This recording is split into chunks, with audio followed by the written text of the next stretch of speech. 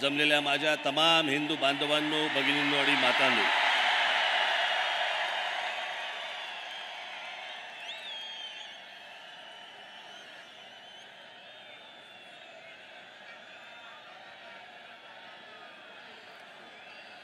मला कल्पना आहे की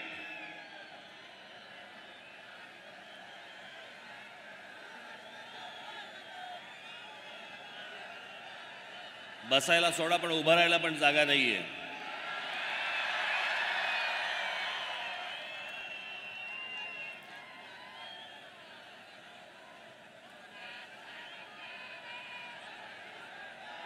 माझी आपणा सर्वांना नम्र विनंती आहे.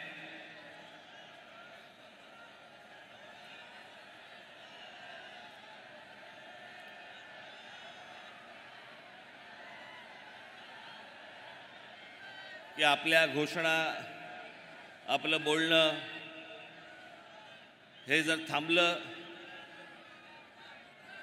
तर मला अनेक विषय आपल्याशी आज बोलता येतील. मी आता येत असताना बाहेर देखील आज अजून हजारो लोक आहेत बाहेर की त्यांना आतमध्ये येता येत नाही आहे कारण आतमध्ये जागाच नाही आहे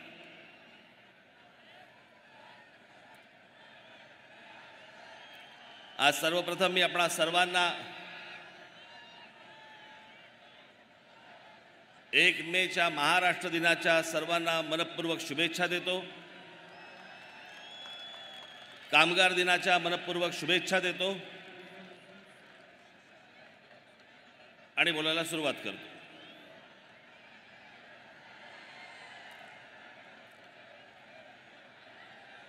खरं तर सभा होणार नाही होणार राज सभा घ्यावी न घ्यावी.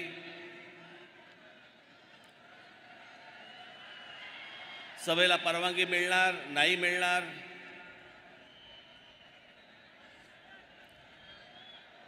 खरं तर हे पोल का ही गोष्ट केली मला अजूनपर्यंत समजलेली नाही.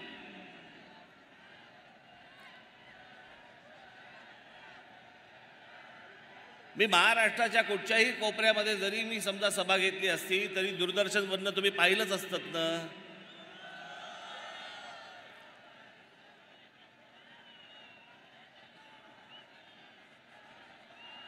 मुंबईला गुढीपाडव्याच्या दिवशी एक सभा घेतली.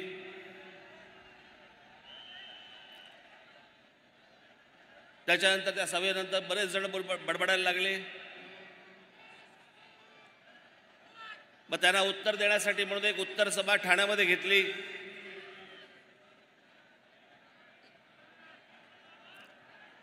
खरं तर दोनच सभा मी घेतल्या.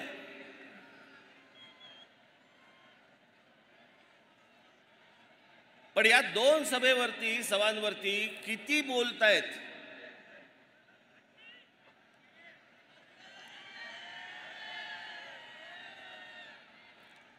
आणि मग ही ज्यावेळेला ठाण्याची सभा ज्यावेळेला झाली त्यावेळेला माझ्या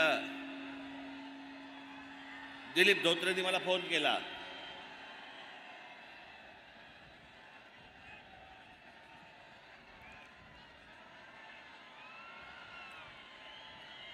बसतील बसतील शांत. जागा नाही ऐकता येणार नाही त्यांना. आणि आमच्या दिलीप धोत्रेंनी फोन केला आणि दिलीप धोत्रेंनी सांगितलं की साहेब आपण एक संभाजीनगरला आपण एक सभा घेऊया.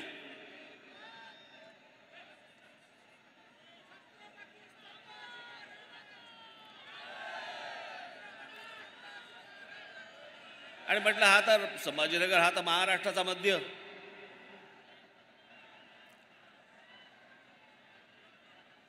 मग मी त्याला सांगितलं म्हटलं आपण एक संभाजीनगरला स- सभा घेऊ म्हटलं मी तुला तारीख सांगतो नंतर.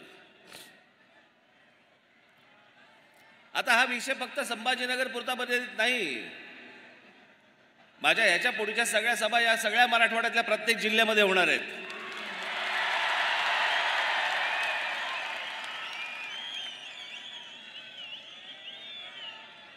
तसंच विदर्भातही जाणार आहे.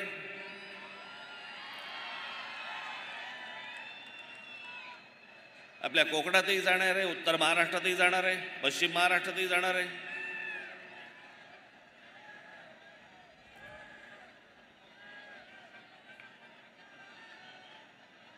पण या सभांना आडकाठी आणून काहीच होणार नाही. मी कुठेही बोललो तरी ते लोकांपर्यंत पोहोचणारच आहे.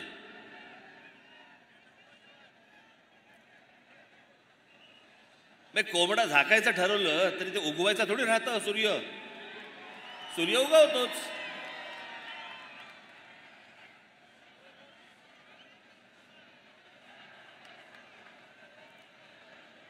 पण आज या ऐतिहासिक संभाजीनगरमध्ये जी काय उरली सुरली जी काय आहे ती म्हटलं आता जरा संभाजीनगरमध्ये काढू.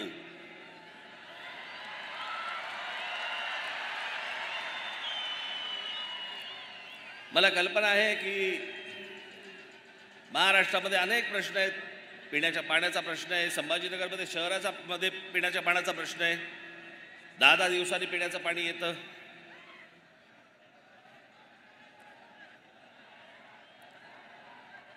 सगळ्याच सगळेच अडचणी आहेत सगळेच प्रश्न प्रलंबित आहेत.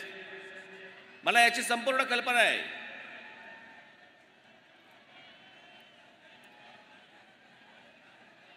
पण आजचे जे काही प्रमुख विषय आहेत या प्रमुख विषयांना धरून मी आजचं तुमच्याशी बोलणार आहे.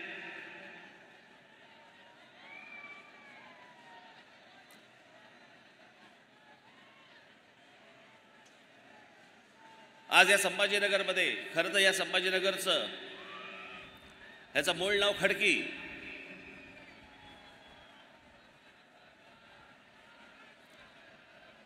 आपल्या दोन्ही राजधान्या इथल्याच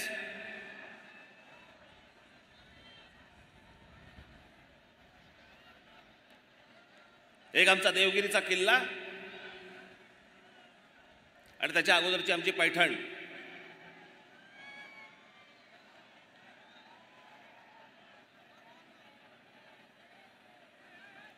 असं वाटतं आजचा महाराष्ट्र दिन. एक मे आपण साजरा करताना पहिल्यांदा आपण थोडासा महाराष्ट्र नीट समजून घेणं गरजेचं आहे. कारण आपल्याला जर महाराष्ट्रच समजला नाही मी त्याविषयी म्हटलं ना ठाण्याच्या सभेमध्ये म्हटलं का कुठच्या सभेमध्ये म्हटलं परत आठवत नाही मला. पण जो जो समाज इतिहास विसरला त्याच्या पायाखालचा भूगोल सटकलेला आहे. त्याच्या पायाखालची जमीन सटकलेली आहे.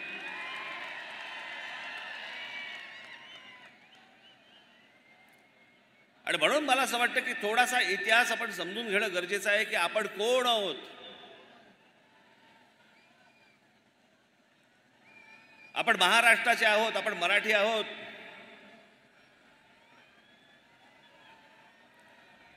या महाराष्ट्राने आजपर्यंत या देशाला काय काय दिलं? मुळात हा कधी देश असा नव्हता ही भूमी होती एक.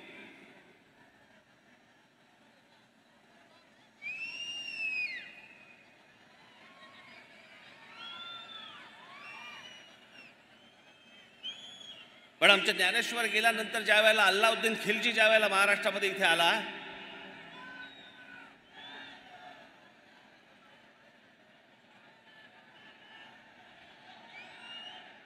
आणि आमच्या देवगिरीच्या किल्ल्यामध्ये ज्यावेळी शिरला काय चाललं रे तिकडे?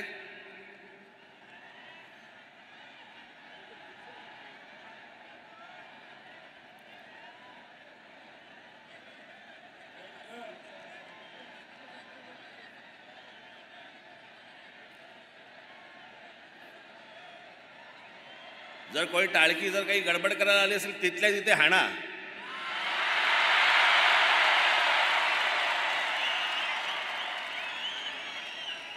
ही महाराष्ट्र नवनिर्माण सेनेची सभा इथे वेडवाकडं कराल ना चौरंग करून घरी पाठवीन.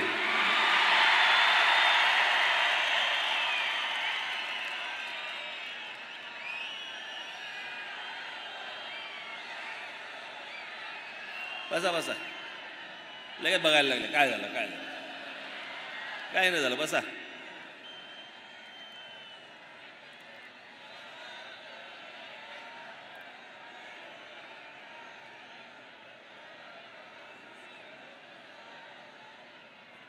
या एका अल्लाउद्दीन खिलजीने एक लाख लोक घेऊन येतोय म्हणून सांगितलं. रामदेवराव यादव आमचा राजा बेसावत राहिला. आमच्या कल्ले किल्ल्यामध्ये फितुरी झाली.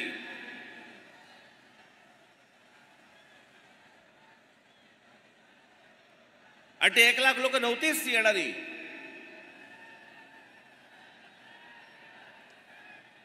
आले लोक काही हजारात होती. मी ज्या वेळेला हा इतिहास ज्या वेळेला वाचतो त्यावेळेला मला कळतं नाही. तर आजच्या सोशल मीडियावरती आपल्याला बघतो ना आपण. अल्लाउद्दीन खिलजीचं सैन्य येत आहे ही महाराष्ट्रातली पहिली फेक न्यूज आपण फेक न्यूज हल्ली फक्त व्हॉट्सअपवरती बघतो. वाटेल ते देतात वाटेल ते सांगतात.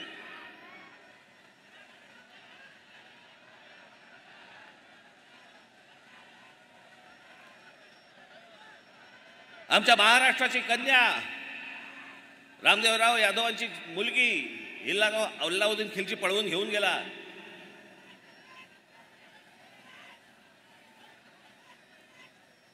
महाराष्ट्रामध्ये अंधकार. पुढचे साधारणपणे चारशे वर्ष महाराष्ट्र खितपत होता.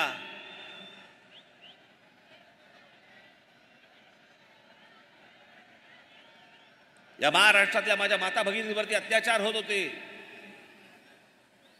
बलात्कार होत होते. मंदिरं पाडली जात होती.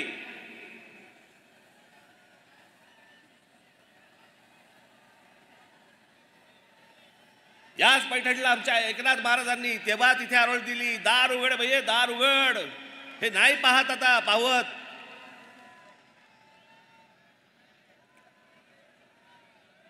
आणि या सोळाशे तीस ला दार उघडलं. आमच्या छत्रपतींचा जन्म झाला.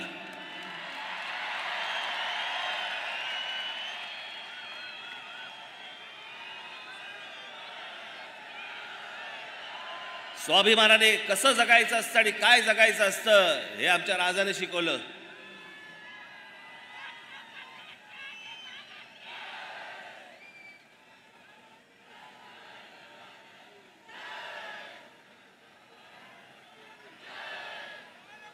तास गेले. इथे आमच्या नांदेडला राहणारे खूप मोठे लेखक नरहर कुरुंदकर. या कुरुंदकरांच्या पुस्तकामध्ये फार छान वर्णन केलेलं आहे त्यांचं.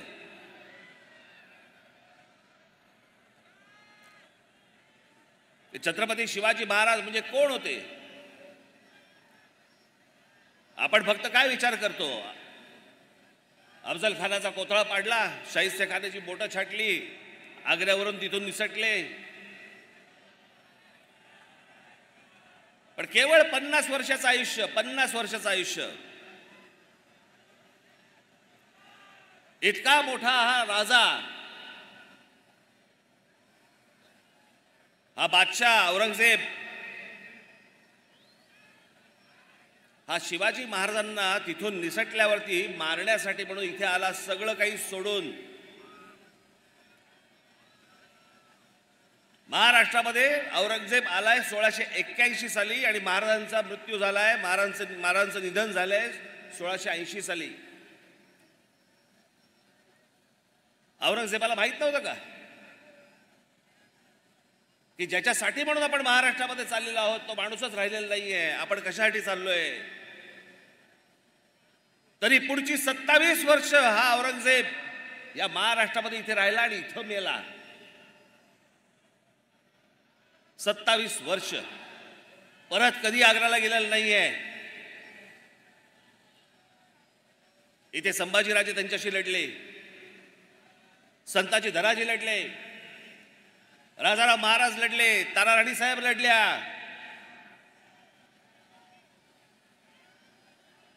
सतराशे सात ला इथे मेला तो.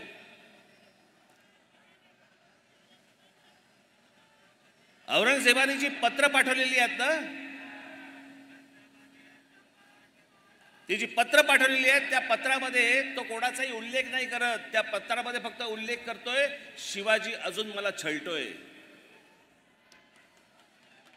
ती जी प्रेरणा आहे ज्याच्यावरती हे सगळे लढतायत त्या प्रेरणेला तो शिवाजी म्हणतोय. तो वेडा नव्हता खुळा नव्हता. त्या औरंगजेबाला फक्त कळलं होतं की शिवाजी व्यक्ती नाहीये शिवाजी हा विचार आहे.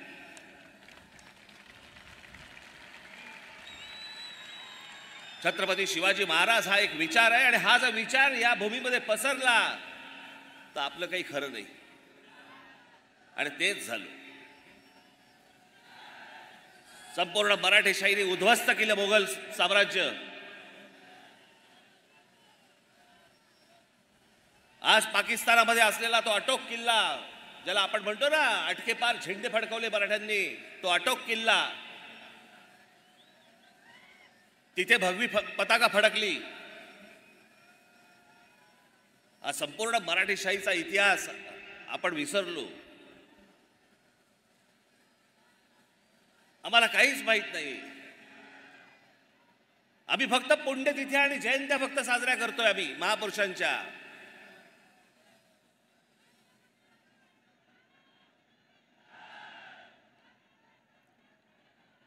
आमच्या डॉक्टर बाबासाहेब आंबेडकरांचं काय वाक्य आहे? ते म्हणाले आमच्या आमच्या लोकांच्या अंगामध्ये म्हणे देवी येते भूत येतात सगळ्या गोष्टी होतात. काय वाक्य आहे त्यांचं? अप्रतिम वाक्य आहे. त्याच्या बाबासाहेब म्हणतात ज्या दिवशी या देशातल्या या समाजाच्या अंगामध्ये शिवाजी नावाचं भूत येईल ना त्या दिवशी अख्खं जग पादाक्रांत करून टाकू आपण.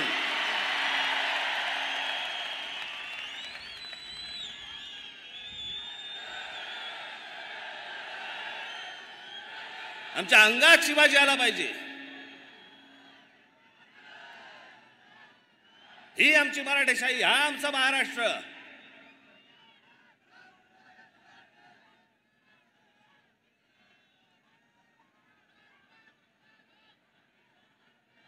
आज काय महाराष्ट्राची परिस्थिती झाली आहे?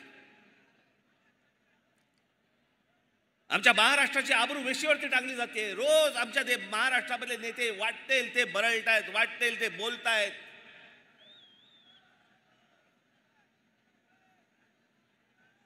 पुढच्या येणाऱ्या ज्या पिढ्या आहेत आज जे लहान कच्चे बच्चे जे आहेत ते राजकारणाकडे बघताना राजकारण्यांकडे बघताना काय शिकत असतील? हे जे टेलिव्हिजनवरती रोज एक चॅनलवरती जे चालतंय हे राजकारण आहे. हा आपला महाराष्ट्र आहे. ज्या महाराष्ट्राने या देशाला विचार दिला समाजवादाचा विचार या महाराष्ट्रात गेला बुद्धिझमचा विचार या महाराष्ट्रात गेला हिंदुइझमचा विचार या महाराष्ट्रात गेला कम्युनिझमचा विचार या महाराष्ट्रात गेला हा महाराष्ट्र चढतोय आणि ह्यांच्या सगळ्यांचे सगळं काय जे रोजच्या रोज जे बोलतात ते आम्ही हसण्यावर देतोय. रोजच्या रोज आमचा महाराष्ट्र खड्ड्यात जातोय. याच्यासाठी महाराष्ट्र दिन साजरा करायचा आहे आम्हाला. की ज्यातनं आम्ही काही प्रेरणाच घेणार नाही आहोत ज्यातनं आम्ही काही बोधच घेणार नाही आहोत. सर्वात जास्ती समाज सुधारक या महाराष्ट्राने दिले विचारवंत या महाराष्ट्राने दिले. एक गोष्ट अशी नाही की जी महाराष्ट्रामध्ये कधी जन्माला नाही आली महाराष्ट्राने इतरांना दिली. आणि आज काय महाराष्ट्राची हालत करून ठेवली आपण? आई बहिणीवरनं शिव्या घालतायत. कोणी मुद्द्याचं बोलायलाच तयार नाहीये. सगळेजण मुद्द्यावरती बोलतायत. आम्ही काय शिकवतोय तरुणांना? हुल्लडबाजी. याचं कारण आमचं लक्षच नाहीये.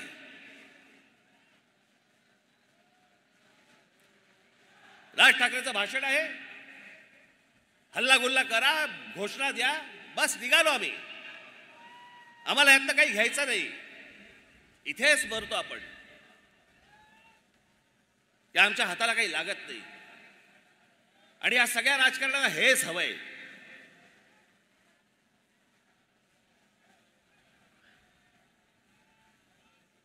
माझी दोन भाषणं काय झाली? त्याच्यावरती सगळे काय फडफडायला लागले?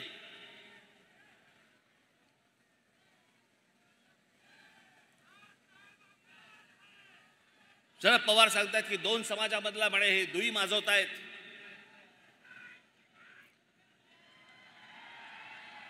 हे महाराष्ट्र आणि देशासाठी म्हणे योग्य नव्हे. मी दोई माजवतोय. पवार साहेब आपण जाती जातीमध्ये जे भेद निर्माण करताय ना त्याने दुही मास्ती आहे.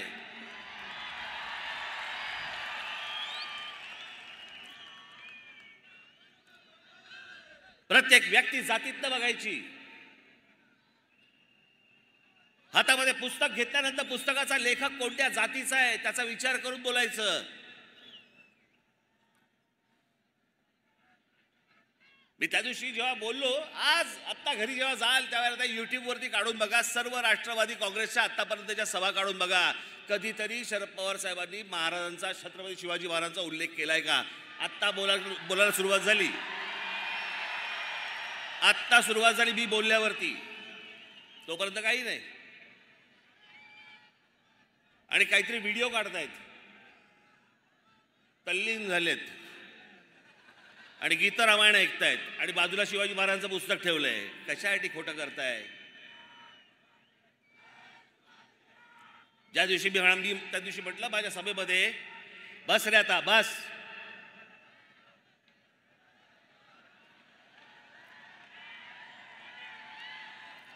त्या दिवशी जेव्हा मी म्हटलं की शरद पवार साहेब हे नास्तिक आहेत लागलं झोमलं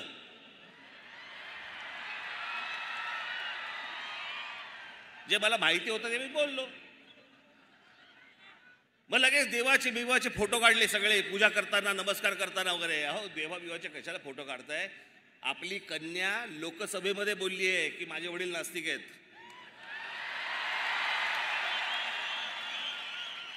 आता याहून आधी काय पुरावा देऊ मी? जिकडे सभा घेत आहेत तिकडे बोलतायत. राज ठाकरेंनी म्हणे त्यांच्या आजोबांची पुस्तकं वाचली पाहिजेत. अरे मी वाचली आहेत. पवार साहेब तुम्हाला अपेक्षित असलेल्या गोष्टी फक्त तुम्ही वाचलेल्या आहेत. अख्खी पुस्तकं वाचा संदर्भात सहित वाचा मग तुम्हाला कळेल.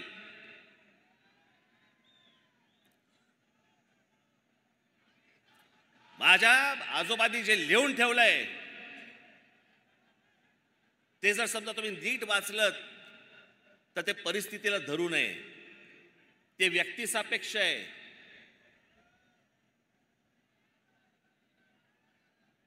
जातीपातीमध्ये भेद निर्माण करणार नव्हे.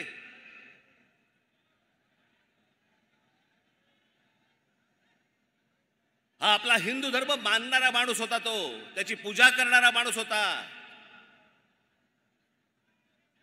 या धर्मामधल्या ज्या चुकीच्या गोष्टी होत्या त्या चुकीच्या गोष्टींवरती बोट दाखवणारा माणूस होता की हे गोष्ट होता का बने माझे आजोबा हे भटभिक्षुकीच्या विरोधात होते.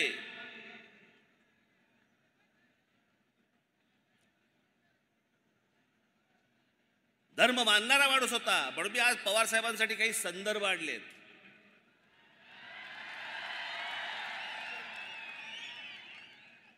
आपण तर ऐकावंच पण या टेलिव्हिजन चॅनलच्या माध्यमातून मी आपल्याला सांगतोय संपूर्ण महाराष्ट्रात देखील डोळे उडे ठेवून कान देऊन याच्या पुढची मी काही काही गोष्टी ज्या सांगणार त्या ऐकाव्यात. की ह्या लोकांनी कसं विष पाज प- प- पसरवलं ते महाराष्ट्रामध्ये जातीचं.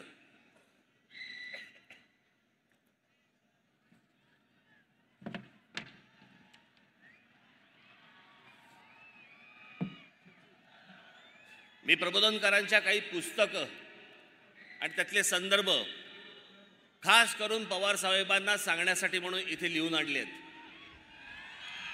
की जर जमलं तर आपण हे वाचावेत. पवार साहेब माझ्या आजोबांचं पहिलं पुस्तक आहे माझी जीवनगाथा. म्हणजे पहिलं पुस्तक म्हणजे शेवटचं पुस्तक त्यांचं. पण त्यांचा चरित्र आहे. त्याच्यामध्ये पान क्रमांक एकशे एक वरती हिंदू धर्माच्या प्रचाराबाबत केलेलं काम. आणि ख्रिश्चन मिशनरींना विरोध म्हणून हिंदू मिशनरी चळवळ स्थापन करणारा माझे आजोबा होते.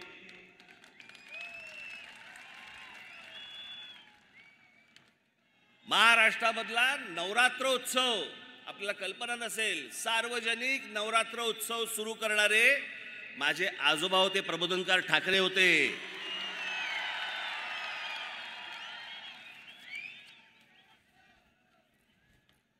त्यांचं एक पुस्तक आहे ऊठ मराठ्या ऊठ.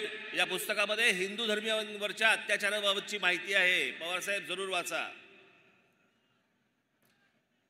प्रबोधनमधील प्रबोधनकार यांचा खंड क्रमांक एक प्रतापगडावरच्या भवानीवरचं संकट.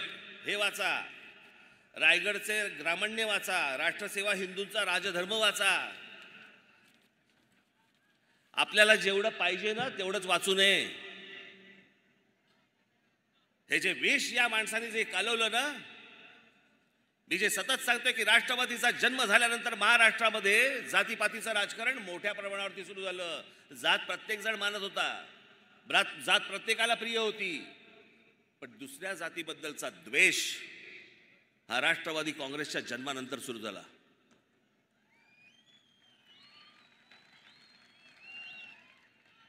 माझा मराठा बांधव भगिनी यांची यांची माती भडकवायची. मग कोणतरी जेम्स लेन सारखा एक माणूस उभा करायचा. मग त्यांनी काहीतरी पुस्तक लिहिलं त्या पुस्तकामधले काहीतरी गोष्टी काढायच्या. आणि ज्या माणसाने संपूर्ण महाराष्ट्रात नव्हे तर देशात छत्रपती शिवाजी महाराज घराघरापर्यंत पोहोचवले त्यांच्या वृद्धापकाळामध्ये पवार साहेबांनी आमच्या बाबासाहेब पुरंदरेंना त्रास द्यायला सुरुवात केली. कशासाठी? की ते ब्राह्मण आहेत म्हणून.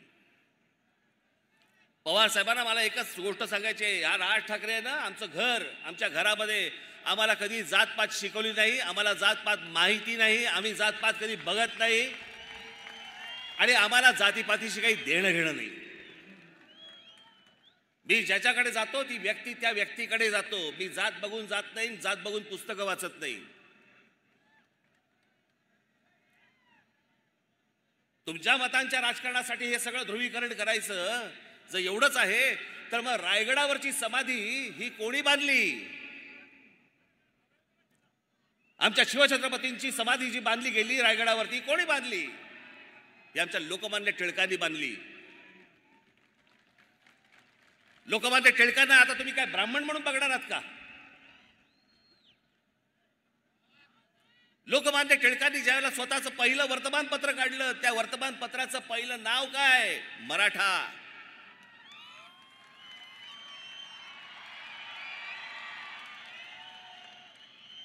हे पवार साहेब कधी सांगणार नाहीत. आत्ता जेम्स लेन इतकी वर्ष बघा ही माणसं सत्तेमध्ये होती. खेचून आणायचा होता त्या जेम्स लेनला? विचारायचा होता तुला कोणी सांगितलं हे त्या जेम्स लेनची आत्ता इंडिया टुडेने मुलाखत घेतली. त्या मुलाखतीमधले फक्त चार प्रश्न मी तुम्हाला दाखवायला आणलेत. ते चार प्रश्न फक्त आपण बघून घ्या. दाखव रे. एक मिनिट थांबा. ही जेम्स लेनची मुलाखतीतला काही भाग आहे छत्रपती शिवाजी महाराजांची अपमानकारक माहिती तुम्हाला कोणी पुरवली होती? तुम्ही प्रश्न चुकीच्या पद्धतीने विचारत आहात हे जेम्स लेन सांगतोय. मला कोणीही माहिती पुरवली नाही. माझं पुस्तक लोकांमध्ये प्रचलित असलेल्या कथांबद्दल आहे. या कथा सांगत असलेल्या लोकांनी नरेटिव्ह सेट करून ठेवलं त्याबद्दल आहे. काही लोक रामदास यांना शिवाजी महाराजांचे गुरु मानतात तर काही तुकाराम महाराज यांना शिवाजी महाराजांचे गुरु मानतात. यातलं खरं काय आहे? त्यात मला काही रस नाही. पण एक गट पहिल्या नरेटिव्हच्या बाजूने आहे तर दुसरा दुसऱ्या नरेटिव्हच्या बाजूने आहे. असं का? पुढे. तुमच्याकडे असलेल्या अपमानकारक माहितीचा आधार काय? जेम्स लेन माझं पुस्तक काळजीपूर्वक वाचणाऱ्यांच्या लक्षात येईल की मी कुठलंही ऐतिहासिक तथ्य मांडल्याचा दावा केलेला नाही. मी शिवाजी महाराजांचा अपमान केला आहे अशी टीका करणाऱ्यांनी चुकीचा अर्थ काढला आहे पुन्हा सांगतो मी कथांबद्दल बोलतोय इतिहासातील तथ्यांबद्दल नाही. पुढे. या विषयाबाबत तुमचं बाबासाहेब पुरंदरेशी बोलणं झालं होतं का? त्यांचं म्हणणं काय होतं? मी कधीही बाबासाहेब पुरंदरेशी एका शब्दानेही बोललेलो नाही. पुढे महाराजांबद्दलचे अपमानकारक शब्द तुम्ही मागे घेतले ते कशामुळे? युक्तिवाद करताना मी पुरेशी काळजी घेतली नाही त्याचा परिणाम इतरांना भोगावा लागला. ज्याच्यावरनं दहा पंधरा वर्ष राजकारण केले या महाराष्ट्रामध्ये पवारसाहेब तुम्ही? तो जेम्स लेन सांगतो मी कोणालाही भेटलेलो नाही आणि ते माझं ऐतिहासिक पुस्तक माझ्या त्यामध्ये इतिहास नाही आहे तुमची केंद्रामध्ये सत्ता होती तुम्ही कृषी मंत्री होतात का नाही फरफटत आणला त्याला? का महाराष्ट्राची डोकी फिरवली कशासाठी हे विष पाजलत तुम्ही लोकांना? कशासाठी विष पाजलत? नवीन वाद उकरून काढायचे. शिवाजी महाराजांचे गुरु रामदास स्वामी होते का नव्हते? रामदास स्वामींकडे परत तुम्ही जातीने बघणार आहात. रामदास स्वामी कधी बोलले की मी शिवाजी महाराजांचा गुरु होतो? की शिवाजी महाराज कधी बोलले की रामदास स्वामी माझे गुरु होते म्हणून? गुरु शिष्याचा नात्याचा काही संबंधच येत नाही.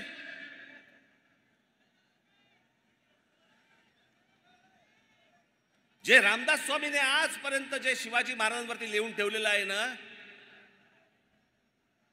मी त्याच्या इतकं उत्कृष्ट शिवाजी महाराजांवरती लिहिलेलं आजपर्यंत कुठेही वाचलेलं नाही.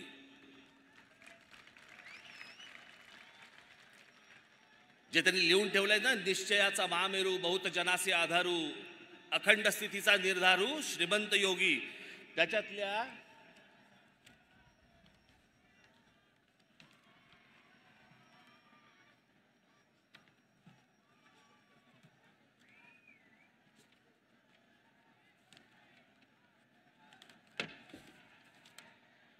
त्याच्यातल्या फक्त शेवटच्या तीन ओळी वाचून दाखवतो.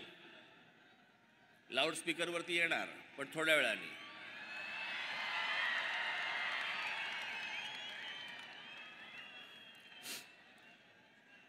तुमचे देशी वास हे या ओळी वाच येत नाहीत फारशा.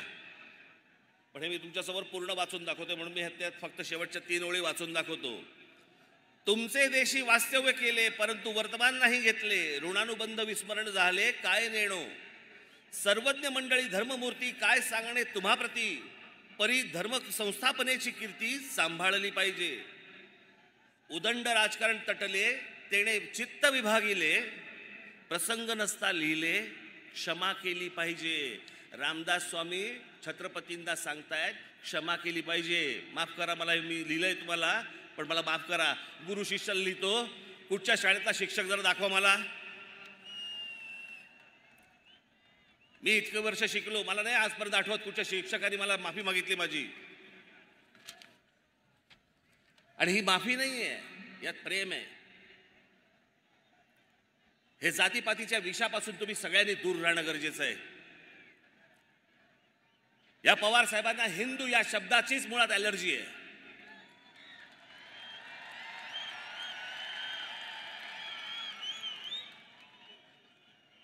प्रत्येक वेळेला बोलताना शाहू फुले आंबेडकरांचा महाराष्ट्र हो तो आहेच.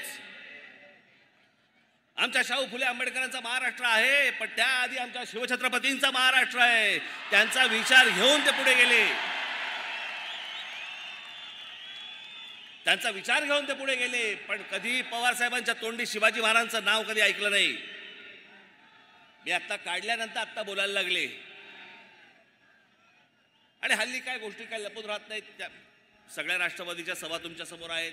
घरी जाऊन बघू शकता. फोटो पण नसतो. फोटो पण कधी नसायचा. आता सुरू केलं लावायला. या सगळ्या गोष्टींपासून मी हे मुद्दामून आपल्याला सांगतोय कारण हे जे सत्य जे चालू आहे ना त्यांचं आणि पवार साहेब पहिली गोष्ट आपल्याला निश्चितपणे सांगतो मी जात मानत नाही मला जातीशी काही देणं घेणं नाही इथे कोणा ब्राह्मणांची बाजू घेण्यासाठी म्हणून मी पण उभा नाहीये आणि कोणाचीच बाजू घेणार नाहीये.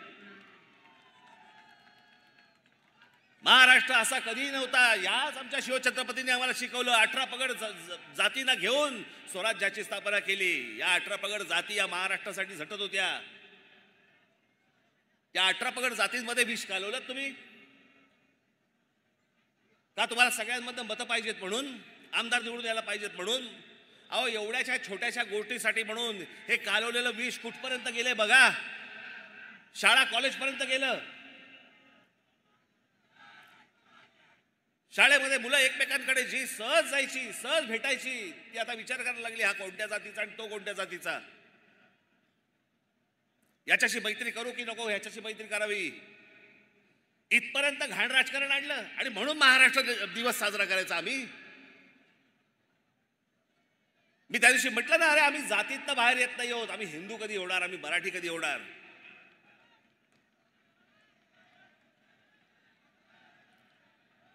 आमच्याकडे जातीने विळखा घालून ठेवल्या सगळ्या गोष्टीला. याच्या उपर आम्ही बघायला तयार नाही आहोत. ज्या महाराष्ट्राने इतके उदात्त विचार या महाराष्ट्राने दिले तो महाराष्ट्र जातीत सडतोय.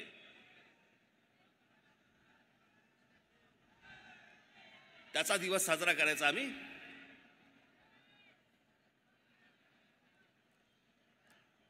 या महाराष्ट्रामध्ये अनेक गोष्टी आहेत. ह्या आता हा लाऊडस्पीकरचा विषय.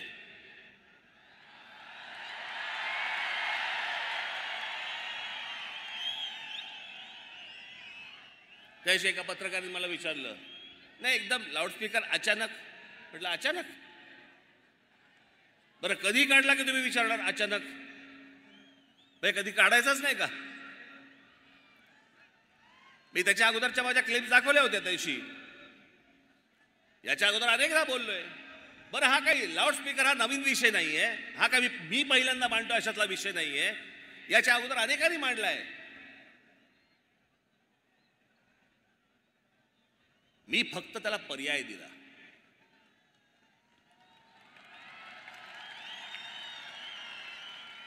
की लाऊडस्पीकर मशिदींवरचे लावून जर समजा तुम्ही गोंगाट करणार असाल तर त्या मशिदींच्या बाहेर आम्ही हनुमान चालिसा पडू मोठ्याने लावू.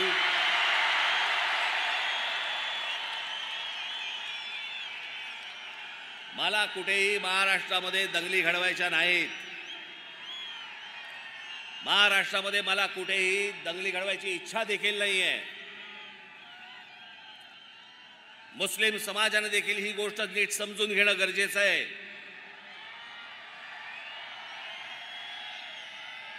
त्या दिवशी माझ्याकडे एक नाशिकला एक जण पत्रकार आले. आणि ते पत्रकार मला ते मुस्लिम समाजातले होते. आणि ते आले त्या पत्रकाराने मला सांगितलं माझ्याकडे आतल्या पुण्याच्या केबिनमध्ये आतमध्ये आले आणि मला म्हणाले साहेब मी मी मी मुसलमान आहे. पण आम्हाला भोंग्याचा खूप त्रास होतो. म्हणजे माझा लहान मुलगा माझं लहान मूल. हे लाऊडस्पीकर लागले की म्हणे झोपे ना. ते आजारी पडायला लागलं. आणि दरवेळेला ते म्हणे झोपायला आलं लहान मूल माझं की म्हणे इकडनं म्हणे ते अजान आणि त्या सगळ्या बांग सुरू होतात आणि माझं पोर झोपू शकलं नाही. मग मी अनेकदा त्याला सांगितलं पण मी एकदा मी मशिदीत गेलो तिकडचे मौलवी होते त्याला सांगितलं की माझ्या मुलाला त्रास होतोय तुमच्या भोंग्याचा. तुम्हाला जे काय पठण करायचं असेल ते मशिदीच्या आत करा. आम्हाला या लाऊडस्पीकरचा त्रास होतोय. त्याच्यानंतर त्यांनी काहीतरी कमी केलं. आणि त्या दिवशी पण मी सांगितलं होतं आज परत मी तुम्हाला सांगतो लाऊडस्पीकर हा सामाजिक विषय आहे हा धार्मिक विषय नव्हे. आणि लाऊडस्पीकर या विषयाला जर समजा तुम्ही धार्मिक वळण देणार असाल तर त्याचं उत्तर आम्हाला धर्मानेच द्यावं लागेल एवढं पण तुम्ही लक्षात ठेवावं.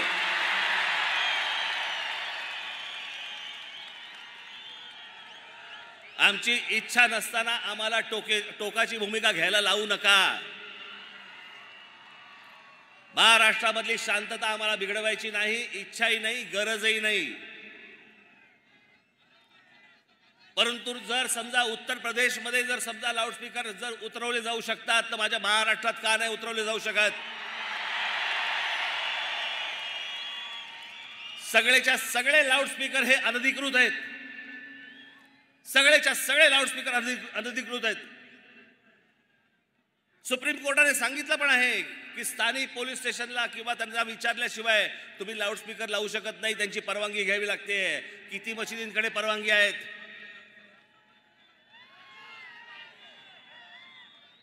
कोणाचकडे परवानग्या नाही आहेत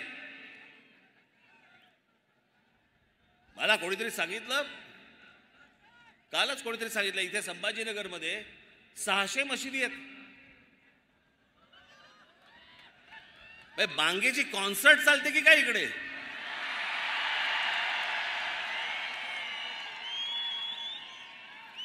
असं फक्त संभाजीनगरमध्ये नाही अख्ख्या देशभर आहे. हे संपूर्ण देशातले लाऊडस्पीकर पहिले खाली आले पाहिजे. सगळ्यांना समान धर्म असला पाहिजे. प्रत्येक वेळेला आम्हीच का भोगायचं? आम्हाला सभा घ्यायची असली की लगेच सांगतात की नाही नाही हा सायलेन्स झोन आहे. इथे शाळा आहे. रात्रीची कुठची शाळा?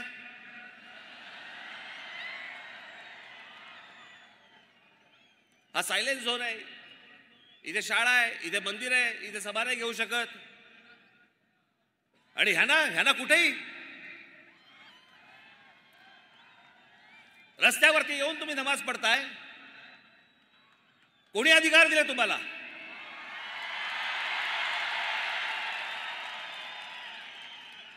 माझी शासनाला पण नम्र विनंती आहे.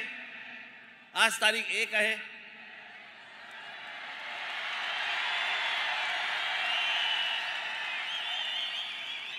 उद्या तारीख दोन आहे.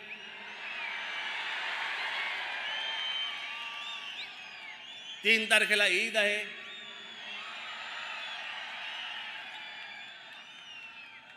त्यांच्या सणामध्ये मला कुठच्याही प्रकारचं विष घालवायचं नाही.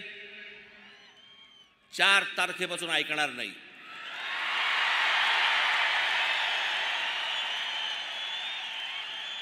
माझी महाराष्ट्रातल्या सर्व तमाम हिंदू बांधवांना भगिनींना माझी विनंती आहे हात जोडून विनंती आहे. जिथे जिथे ह्यांचे लाऊडस्पीकर लागतील त्यांच्यासमोर दुप्पट आवाजाने तिथे हनुमान चालिसा तुमची लागलीच पाहिजे.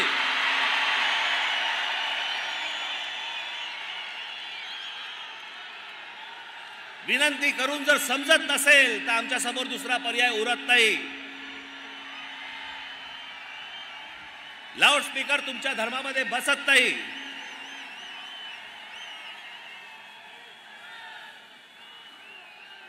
जे सुप्रीम कोर्टाचे काय सुप्रीम कोर्टाचे नियम सुप्रीम कोर्टाचे नियम सुप्रीम कोर्टाचे नियम म्हणून सांगताय ना? त्या सुप्रीम कोर्टाच्या नियमामध्ये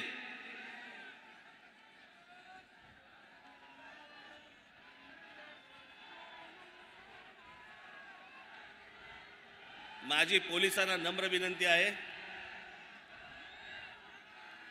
जय सभेच्या वेळेला हे बांग जर सुरू करणार असतील आपण आत्ताच्या आत्ता ताबडतोब तोंडात बोळा कोंबावा. त्यांना जर सहज सरळ मार्गाने जर समजा समजत नसेल तर मग त्याच्यानंतर महाराष्ट्रात काय होईल मला माहिती नाही.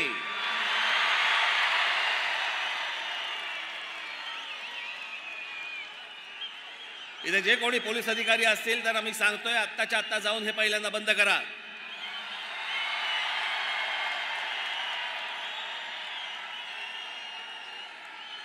आणि माझं एक म्हणणं आहे या बाबतीत त्यांना जर समजा सरळ भाषेमध्ये समजत नसेल ना तर एकदा काय ते तिच्या आईला होऊनच जाऊन देत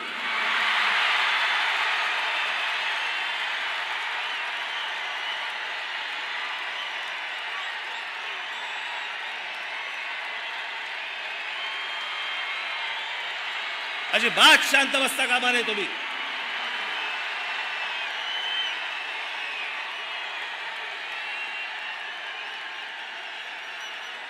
संभाजीनगरच्या पोलिसांना माझी हात नम्र विनंती. परत करतोय मी. आपल्याला परत सांगतोय.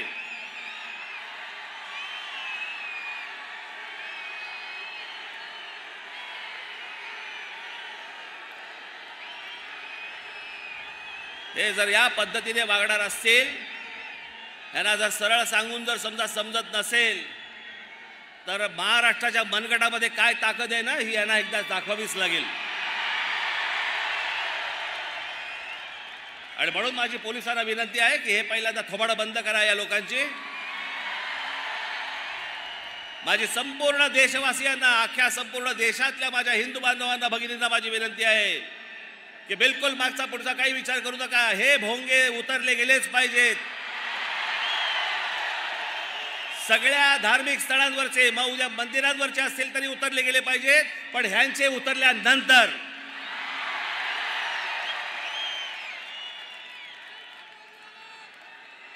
आपण सगळेजण आज ही परिस्थिती आहे. अभी नाही तो कभी नाही. माझ्या देशातल्या सर्व देशवासियांना माझी सर्व हिंदू बांधवांना भगिनींना माझी विनंती आहे. जर हे तीन तारखेपर्यंत ऐकले नाही चार तारखेला हनुमान चालिसा प्रत्येक ठिकाणी मला ऐकू आलंच पाहिजे. पोलिसांकडनं वाटल्यास रीतसर परवानगी घ्या लाऊडस्पीकरची परवानगी घ्या त्यांना द्यावीच लागते. पण ती परवानगी घेऊन आपण या सगळ्या गोष्टी जोरात कराल. आणि सामाजिक दृष्ट्या हा इतके वर्षाचा प्रलंबित प्रश्न हा कायमचा निकाली लागेल. याच्यासाठी सगळ्यांनी आपण हातभार लावावा ही नम्र विनंती करतो. आणि आपणा सर्वांची मी रजा घेतो. धन्यवाद. जय हिंद जय महाराष्ट्र.